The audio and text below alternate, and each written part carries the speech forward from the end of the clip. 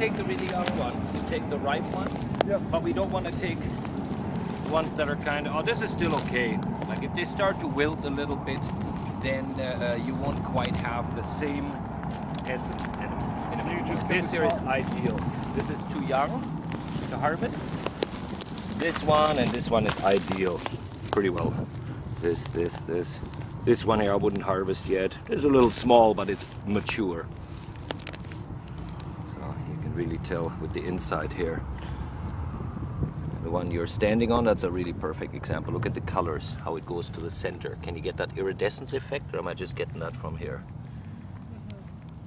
Wow, that's gorgeous, eh? Calendula Okanagan. That's what I call them, anyways. An old German proverb, je bitterer dem Mund, dem Magen gesund, which means the bitterer to your taste buds, the better it is for you. Totally. You know, that's so true. It's not that bitter though. It is bitter, No, though. no, they're not that still quite young. yeah. They're still quite young. If you do one of these here, try this. This will be even less. More, uh, um, less bitter. Yeah, this will be even less bitter. And with the dandelion, Yeah. if you harvest the dandelion leaves at this time of year, early in the season, where they're nice and young and succulent, you end up with a wonderful salad. Whereas if you harvest them later in the season, when the leaves are bigger, Yeah. you end up with uh, um, something that's quite a bit more bitter. Like that. Look, just pluck, Look, look. pluck. Twist And normally, oh, and and I'd give them a tap before too, because these flowers have a tendency of having uh, quite a bit of spiders on them. Um, when it's this early in the season, you don't really have to be too concerned with if you're harvesting like this to take too much. Like, look, I'm leaving this So- much on there. Yeah. Normally, um, I usually try to go into an area and um, take about 20 to 30 percent of something if I'm harvesting. That way, you're not doing damage. And if I'm harvesting rootstock, like up there, there's no sense for it because they're turning it into a vineyard. Yeah. But if I'm in nature and I'm harvesting rootstock or anything like that, I usually try to have seeds with me. So the disturbed ground that is now ready, put some seeds on there, and that's stewardship. you know? So you take Wow. something, you That's- leave something. That's the way to go. Yeah. That is the way to go. If, if you intend to have this uh, available for your uh, great, great, great, great, great grandchildren, and I love kids, and uh, so I think it just makes sense, you know. And, And when you know your areas, then what you do is you've harvested your calendula seeds in the fall for oil extraction, and you of course keep enough seeds so that when you go out in the spring, like now, that you can then, when you do this, when you harvest the root, leave seeds there. So you, theoretically, if you do it properly, by the time you're done, there will be more there. And that's what First Nations people have done here in the Okanagan. I personally believe one of the reasons why we have so much arrowroot flowers and the arrowroot plant growing here is because uh, it was culturally assisted. And thank you very much, First Nations Westbank and First Nations everywhere for the great job. So how much we put together here, uh, because there isn't a full kilo, there's 900 grams in here. Normally use a kilo, so we're going to improvise without a scale here to create a kilo. Just going to pretend we know what 100 grams are. So one and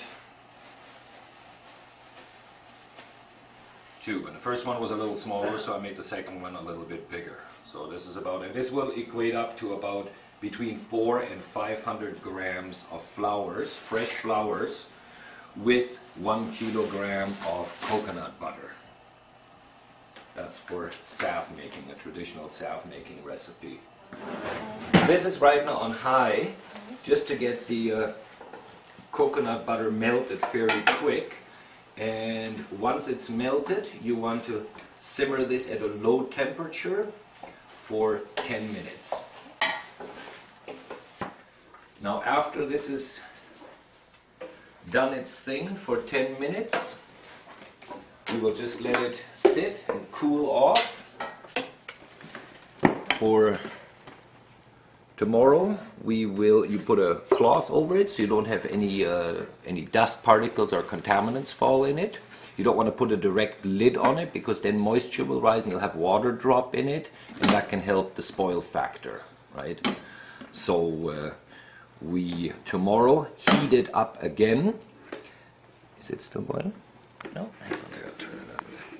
Tomorrow we'll heat it up again, bring it to the bubbling stage, give it about five minutes, and then let it cool off. And then we shall strain it through a cheesecloth, and um, there is our base for the salve. Then after that, we add a little bit of high potency vitamin E oil to it, preferably between 30 and 40,000 IU. And that helps with the preservation of it. And I find coconut butter is, uh, you have to be careful with any kind of small particles that are in there. Because if you have something floating on top of your salve that's sitting in a container, that little contaminant will work like a wick or a fuse between the oxygen provided through the air and uh, um, it will kind of literally feed that into the matter you have. And uh, plant matter, coconut uh, butter, and air can uh, potentially spoil it fairly fast. Take a look, this is what it's looking like right now.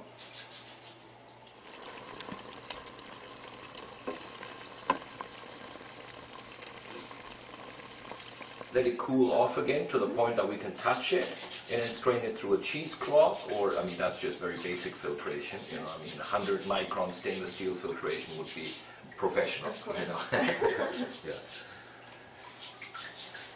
And uh, yeah, and then as you then separate the plant matter from the uh, coconut base that now has the healing elements and essential oils and so forth infused into it via heat.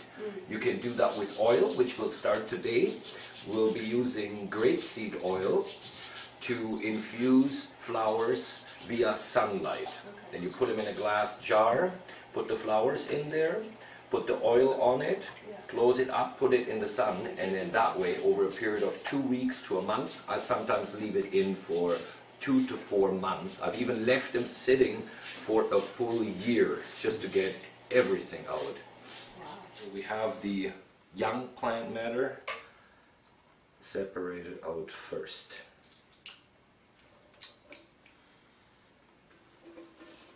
Look at the strong color coming out of here. Okay. Now this was this would make unbelievable salve.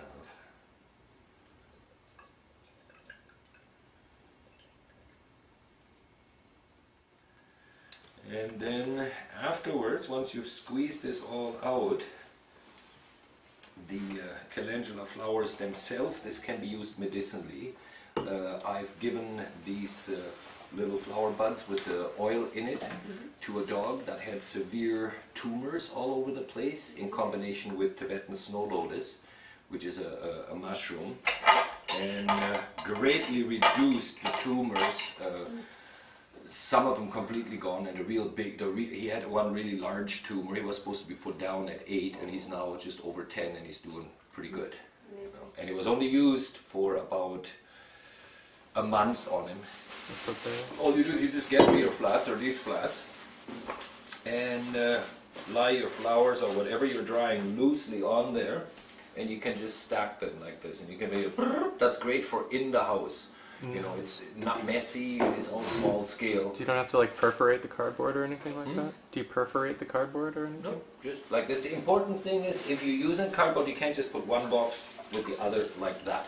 It's got to breathe. So you want to go like this and like this and like this and like that, and you don't want to like pile it full, otherwise it can't breathe. So never stop asking questions.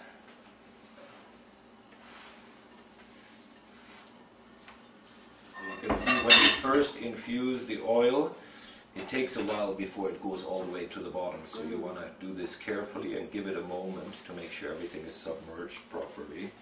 So look, this was full, and so it's just working its way through. And then we'll leave these here, these beautiful jars, if that's all right. We'll put them right here in the window. Hey, Great, yeah. Right on. These ones here. All of this here we're going to want to put in a cool, dark place, like somewhere in a ca- uh, cupboard here or so. Where would you recommend? Sure.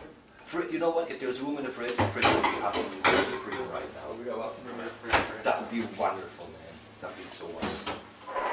Okay. Generally, do you oil. sell them in the fridge or do you keep it in the medicine cabinet? Normally in the medicine cabinet, but this isn't a fully finished product yet.